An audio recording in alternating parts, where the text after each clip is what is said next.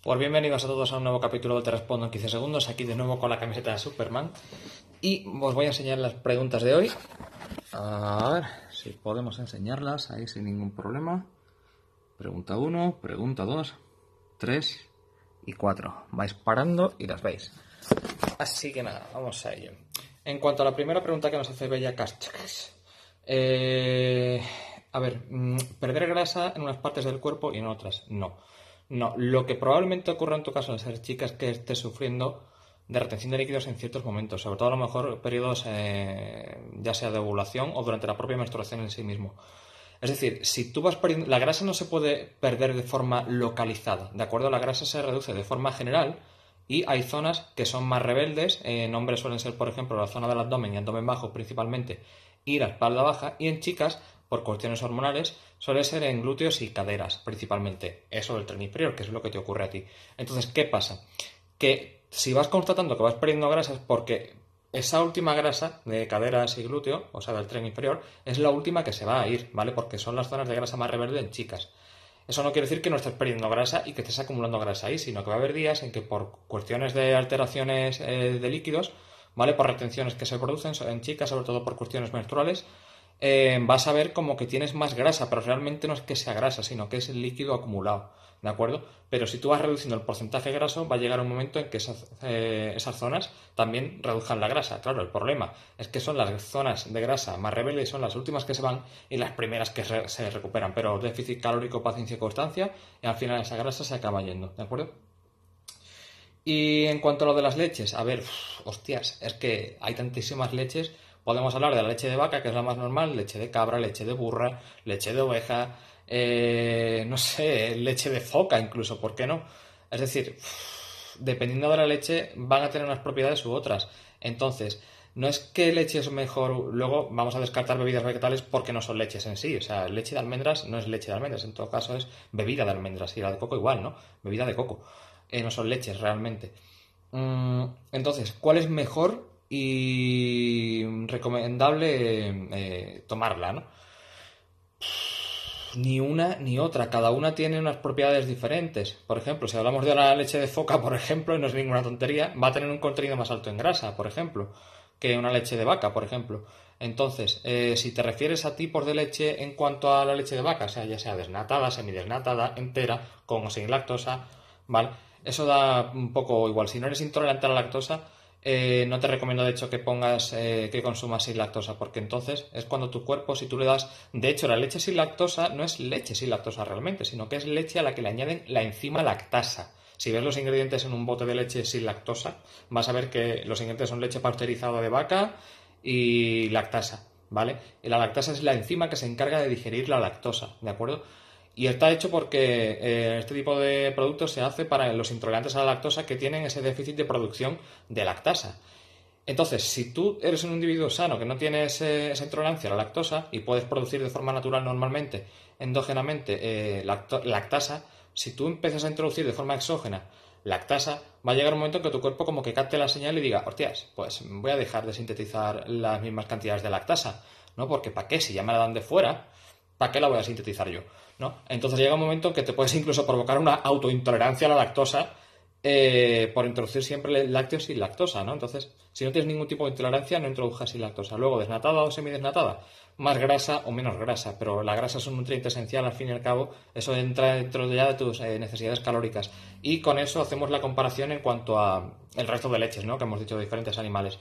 Eh, da exactamente igual. Tú tienes unos requerimientos calóricos y de macronutrientes ¿de acuerdo? Y mm, da igual cómo los consumas siempre cuando tu dieta sea equilibrada, ya sea de un alimento u otro. Entonces, el tipo de leche, ¿cuál es mejor? Ni una ni otra. Cada una tiene sus particularidades y propiedades y te puedes beneficiar de una u otra en función del el conjunto global de tu dieta, ¿vale?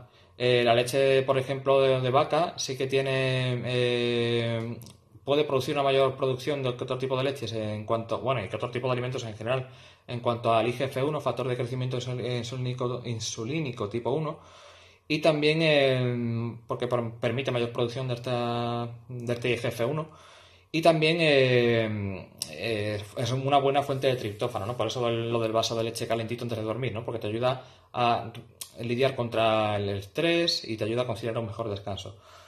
Así que eso lo dicho, ¿no? O sea, ni mejor ni una ni otra, cada una tiene sus propiedades y es elegir entre una y otra y asegurarte de que en tu dieta en general no haya ninguna carencia, ¿vale? Y si la leche te proporciona el que no haya carencias, pues mm, utiliza la que tú prefieras, básicamente. Luego, en cuanto a lo de la composición corporal, sin apenas músculo, eh, tener grasa en el abdomen. A ver, esto es sencillo. Mm, lo que te pasa es que principalmente te falta músculo, ¿vale? Luego, no podemos, entonces, desarrolla masa muscular. A medida que vayas aumentando el, porcentaje de masa muscular en tu cuerpo, la relación entre masa muscular y grasa corporal se va a ver eh, mejorada. Es decir, vas a tener mejor composición corporal. Mayor contenido de masa muscular y menos grasa corporal va a hacer que la composición corporal se vea mejor y vas a tener cada vez menos aspecto. A medida que vas desarrollando más masa muscular, menos tienes que reducir el porcentaje graso para que parezca que haya menos grasa, porque estás mejorando tu composición corporal. ¿De acuerdo? De todas formas, si desarrollas músculo es normal, porque en un superávit calórico algo de grasa vas a acumular siempre. Y luego, en cuanto a la cantidad de masa muscular que tengas de base, pues seguramente si tienes poca vas a tener mayor aspecto de acumular más grasa, pero luego a la larga eso se va a ver eh, recompensado porque cada vez vas a tener menos aspecto de tener más, menos grasa. Luego también dependen muchos factores en cuanto a si de pequeño has sido, eh, tenido sobrepeso, has sido o, u obesidad incluso, no sé. Eh, se ha dado una hiperplasia adipocitaria, es decir, que tienes mayor cantidad de adipocitos, células grasas, para que nos entendamos, que una persona que no ha tenido ese problema de salud en, en su juventud o en su niñez, ¿no? Entonces, ¿qué pasa? Que los adipocitos reducen su tamaño, pero no su número. O sea, una vez que se multiplican a tempranas edades, se quedan ahí para siempre y puedes reducir su tamaño mientras bajas tu porcentaje graso, pero no puedes reducir el número total de adipocitos. Entonces, gente que ha tenido sobrepeso, como es mi caso, por ejemplo, eh, sobre todo la zona del abdomen bajo, como decíamos antes, que son las zonas de grasa más rebelde de un hombre, va a tener mayor predisposición a que en el momento en que le des un poquito las calorías y demás, eh, tengas más grasa, digamos, en el abdomen, ¿vale? Yo, por ejemplo, retengo en el abdomen bajo que da gusto. Eh, y en volumen ni os digo, o sea, me tapo por completo, vaya. Pero es una cosa que es normal, luego al fin y al cabo a largo plazo te vas a ver mucho mejor, así que es un riesgo que se asume y que, bueno, o sea, incluso los atletas profesionales en off-season, fuera de temporada, eh, no van rajados toda la vida, ¿no? Con el abdomen de Ryan Terry no se va así por la vida, y contrayendo y apretando y con un porcentaje de grasa de un 5%, ¿no? Ellos también se tapan, ¿vale? Se, hacen sus etapas de volumen. Luego hay gente que tiene mayor predisposición y por genética tiene eh, una distribución de la grasa sobre la zona del abdomen que le permite subir más limpio, más magro y sin ese aspecto de acumular toda la grasa, sobre todo en el abdomen, pero eso ya es una cuestión genética individual de cada persona, ¿vale? Entonces, si no es tu caso, pues aprende a quererte como eres y mejora que a la larga te irás viendo cada vez mejor, ¿vale? Y no tengas miedo a ganar grasa, si no, no vas a cambiar en tu vida, ¿vale?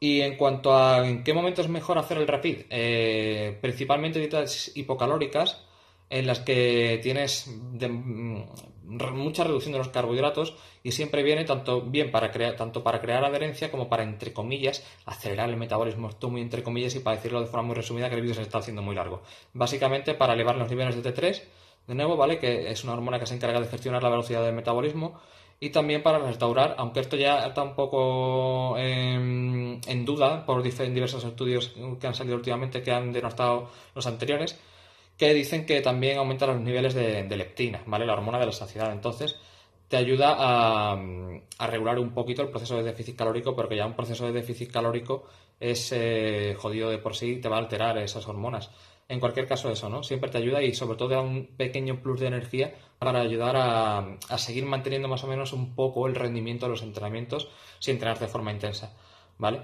Entonces eso, en procesos de dietas hipocalóricas para pérdida de grasa son los mejores momentos para introducir un refit. Y nada, hasta aquí el vídeo de hoy, que al final se ha alargado la hostia, como siempre, pero bueno, espero que os haya servido la información y nos vemos en un próximo capítulo.